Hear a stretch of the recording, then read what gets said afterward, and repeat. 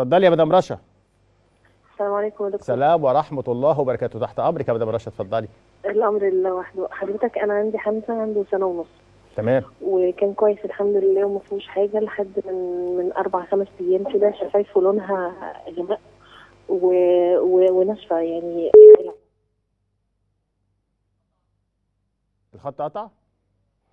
بص يا مدام رشا أنا اللي سمعته من حضرتك يا حمزة سنة ونص ربنا يخلي حمزة واسم حمزة. سنة ونص بقيت اللي فهمته أو اللي سمعته إن شفايفه ابتدت تبقى غامقة. مش كده هي قالت كده برضو ولا؟ إن الشفايف ابتدت تبقى غامقة. شفايف غامقة دي حاجة من حاجتين. يا إما العيل ده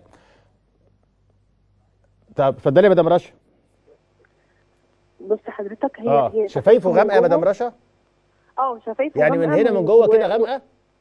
آه تمام. وإيه تاني؟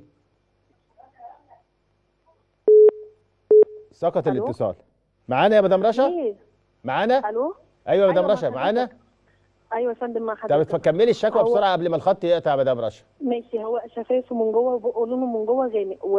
والدكتور قال إن هو نقص أكسجين بس ما قاليش السبب. وحولني على دكتور قلب وكده من غير ما يقول لي أي حاجة.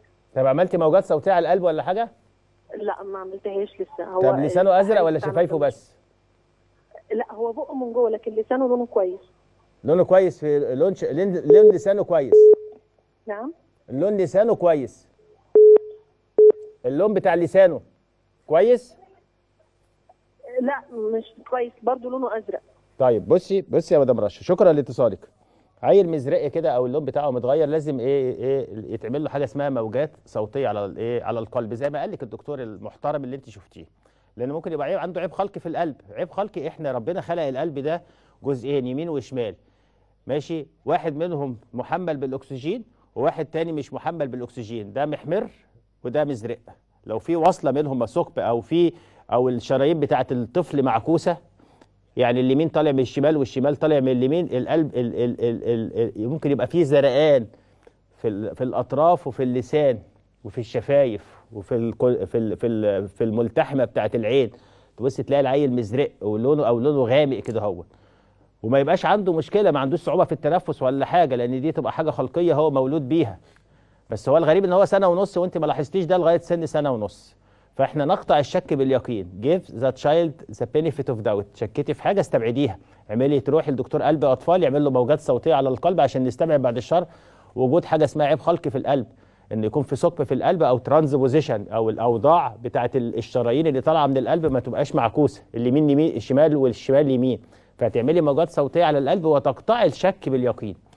ساعات بنعمل إيه حاجة اسمها bed bedside test إن هو إيه يبقى الدكتور يبقى عنده حاجة اسمها pulse oximeter أو انه يقيس نسبة تشبع الأكسجين في الدم ودي حاجة بسيطة جدا test ما ياخدش خمس ثلاث دقائق إن يكون عندك pulse oximeter في العيادة بتاعتك وعشان كده لما تبقى عيادة الأطفال مجهزة صح بإيه بت- بتحل مشاكل سريعة. يعني عندك إيه جهاز تقيس الصفرة بتاعه العيل بش- بإيه في ثانية تقيس نسبة تشبع الأكسجين في الدم في في في في في, في 30 ثانية. تعرف الدنيا فيها إيه؟ على الأقل تطمن الاهل جزئيا بدل ما تسيبهم في قلق يوم واثنين وثلاثة. عندك pulse oximeter ال pulse oximeter ما بقتش حاجة غالية ب 1000 جنيه تجيب pulse oximeter دلوقتي. كلام بسيط بس بيطمن الاهل فأنت تقيسي نسبة التشبع.